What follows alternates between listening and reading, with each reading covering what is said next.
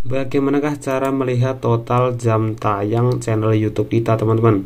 Nah, buat teman-teman yang belum tahu bagaimana cara melihat jam tayang video-video yang sudah kita upload di YouTube, yang mungkin kita akan daftarkan di monetisasi di di waktu yang sudah ditentukan, misalnya saat channel kita sudah memenuhi persyaratan, yaitu 4000 jam tayang dan 1000 subscriber. Nah ini dia channel saya sebagai praktek untuk melihat jam tayangnya seperti ini. Tidak di aplikasi YouTube-nya. Tetapi di aplikasi ini dia YT Studio. Kalian bisa download aplikasi ini di Play Store. Langsung kita buka seperti ini. Nah ini dia di dashboard awal sudah ditampilkan ini dia. Waktu tonton jam ini dia. 28 hari terakhir. Di sini bisa kalian klik ini dia.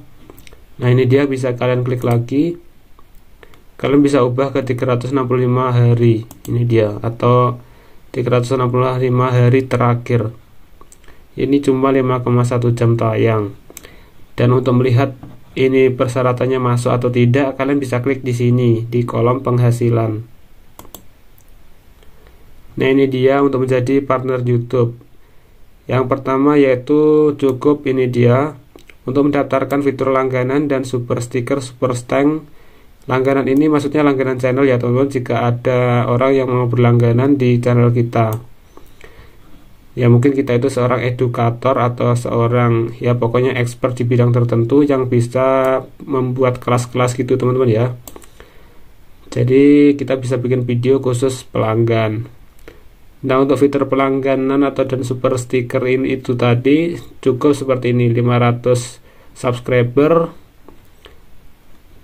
3 upload video 95 hari terakhir 3000 jam tayang. Dalam 365 hari terakhir atau 3 juta penonton dalam 3 bulan terakhir. Video short maksudnya ini dia video short tetapi ini belum cukup untuk mendapatkan fitur monetisasi iklan halaman tonton. Ini dia yang di bawahnya. Atau iklan feed short jadi untuk memunculkan iklan halaman tonton dan iklan feed short syaratnya yaitu ini dia lebih berat lagi. 1000 subscriber ini gak ada batasannya berapa tahun terakhir gitu teman-teman ya. Tapi ini dia 4000 jam tayang. Batasannya ini 365 hari terakhir atau setahun belakangan masih dihitung. Dan ini dia 10 juta 10 juta penayangan short 90 hari terakhir. Ini jika salah satu ini sudah terpenuhi, ini tinggal mengikuti. Ya teman-teman, karena saya juga punya video short, total penayangannya belum tembus 10 juta, tapi sudah aktif iklan feed shortnya, karena ini sudah aktif, yaitu channel saya yang ini.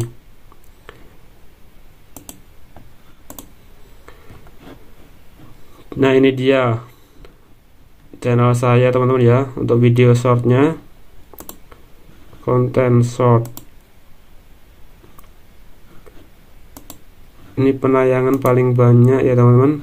Ini penayangannya sedikit teman-teman ya. Tapi sudah ada iklannya untuk video short atau sudah menghasilkan uang. Nah ini dia estimasi pendapatan. Karena kenapa? Karena fitur iklannya sudah muncul di video lama teman-teman ya di video panjang seperti ini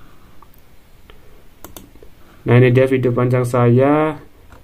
Ada yang tembus seperti ini Tahun lalu ini teman-teman ya. Jadi kalau ini sudah video panjang sudah muncul iklan Maka video short tinggal mengikuti Seperti itu. Semoga kalian paham. Semoga bermanfaat. Dan ini dia jam tayang saya Channel saya ya teman-teman Selama 365 hari terakhir Nah ini dia 52.000 jam tayang. Jadi kalau penontonnya banyak jam tayangnya juga ikut meningkat seperti itu